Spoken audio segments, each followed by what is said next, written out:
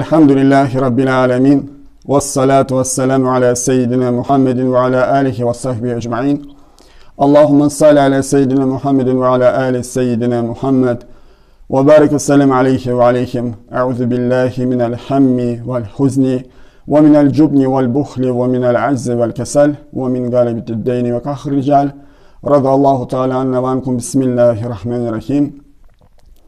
ربي يسر ولا تعسر ربي تمم بالخير ربي اشرح لي صدري ويسر لي أمري واحلل عقدة من لساني يفقه قولي Drodzy muzułmanie, tematem dzisiejszej chutby jest czystość i ablucja wudu, które są niezbędne przy wykonywaniu czynności religijnych oraz są elementem podążania za sunną dotyczącą czystości i wykonywania wudu. Nasza religia jest religią czystości. Nasz prorok sallallahu alaihi wasallam wspominał o czystości mówiąc czystość jest wiarą oraz czystość nakłania człowieka do wiary. Drodzy bracia i siostry w islamie, wszyscy wierzący, którzy wierzą w Allaha oraz słuchają Jego rozkazów, muszą tym bardziej przestrzegać wszystkich nakazów religii. Wykonanie wszystkich modlitw, szczególnie modlitw, modlitw codziennych, salat, wymaga zwrócenia szczególnej uwagi na czystość. Omówimy, czym jest czystość taharat oraz jak o nią zadbać. Tahara składa się z dwóch części. Pierwsza część to wykonanie ablucji lub gusul, o ile istnieje taka potrzeba.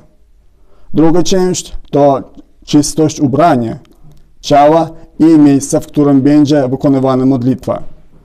Zachowanie czystości w miejscach intymnych dzieli się na trzy kategorie.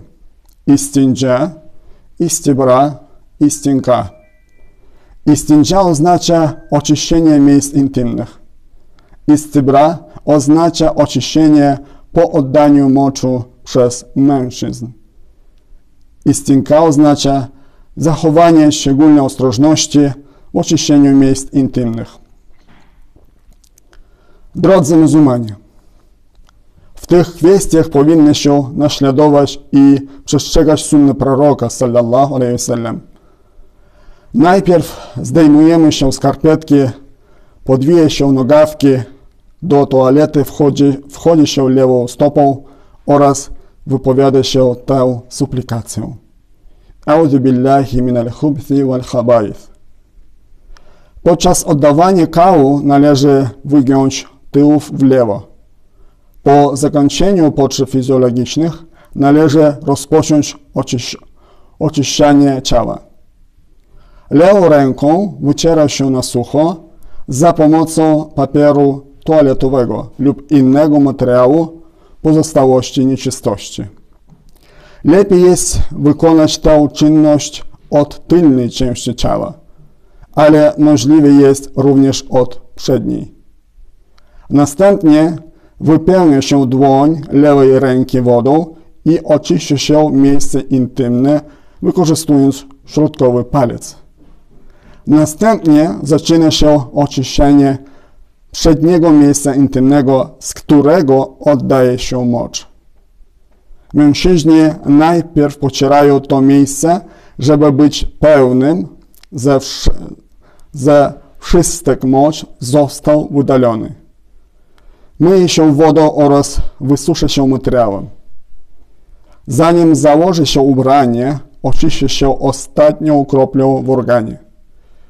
To się nazywa istinka i można ją wykonać na różne sposoby, na przykład chodząc, kaszląc, potrząsając ciałem, leżeniem oraz poprzez umieszczenie małego kawałku bawełny do całki, do całki moczowej.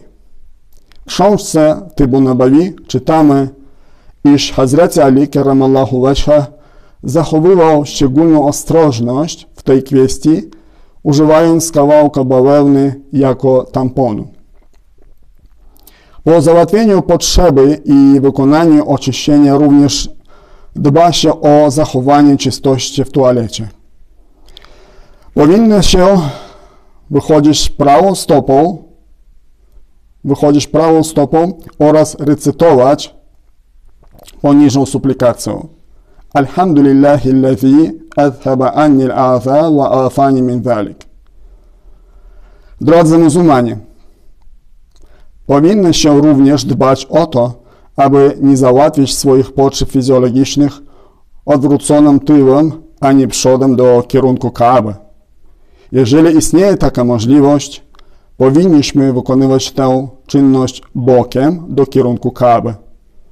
Następną uwagą jest, iż nie powinno się załatwiać na stojąco. Ten sposób uniemożliwia wydalenie wszystkich odchodów z organizmu. Pozostałości mogą ubrudzić ubranie oraz unieważnić ablucję i za takie postępowanie grozi kara w grobie.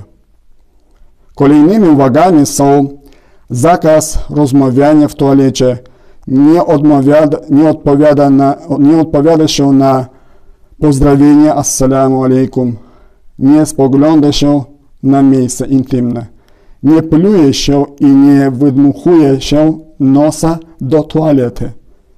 Nie należy bawić się ciałem, jak najszybciej po zakończeniu załatwiania czynności fizjologicznych opuści się, opuści się. Po zakończeniu potrzeb fizjologicznych wykonuje się ablucję. Allah Jalla Jalaluhu przekazał nam warunki, których przestrzeganie wpływa na jej ważność. O wy, którzy wierzycie, kiedy stajecie do modlitwy, to odmy, odmyjcie wasze twarze i ręce aż do łokci. Prze, przeczyjcie lekko wasze głowy, a nogi myjcie aż do kostek. A jeśli, a jeśli jesteście w stanie nieczystym, to oczyszczajcie się. A jeśli jesteście chorzy albo w podróży, albo jeśli ktoś z was przyszedł z ustronnego miejsca, albo jeśli dotykaliście kobiet i nie znajdziecie wody, to poszukajcie dobrego piasku, wycierajcie nim twarze i ręce.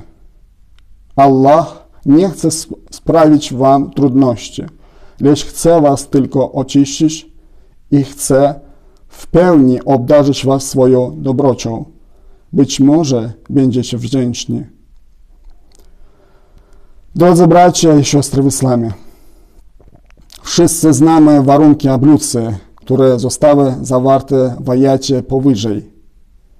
Powinniśmy również wiedzieć, jak wykonuje się ablucję zgodnie z sunną proroka sallallahu alaihi wasallam.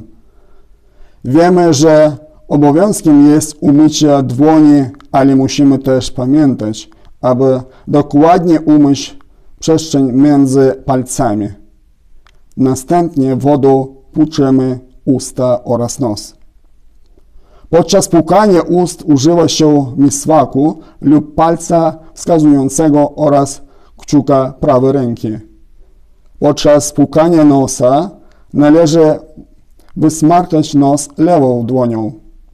Podczas mycia twarzy zaczynamy od, od czoła i myje się twarz trzy razy. Podczas mycia rąk polewamy je wodą i przecieramy zaczynając od łokcia do dłoni, następnie przeciera się całą głowę mokrymi dłońmi i przeciera się uszy i następnie tył szyi.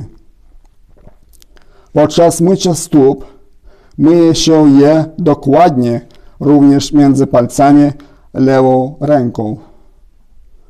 Sunną jest podczas wykonywania ablucji myć każdą część ciała trzy razy i podczas wykonywania każdej czynności, ablu, czynności ablucji wypowiadanie słów Bismillah i kelimej shahada. Bismillahirrahmanirrahim. Ashhadu an la ilaha illallah wa ashhadu anna Muhammadan abduhu wa rasuluh. Należy używać małej ilości wody do wykonania wudu. Używanie zbyt dużej ilości wody jest zakazane. Haram. W szczególności należy oszczędzać wodę, gdy używamy jej w miejscu publicznym. Chciałbym zakończyć chudbą opowieścią. Jedno plemię wraz ze swoimi nauczycielami odwiedziło naszego proroka sallallahu alaihi wasallam.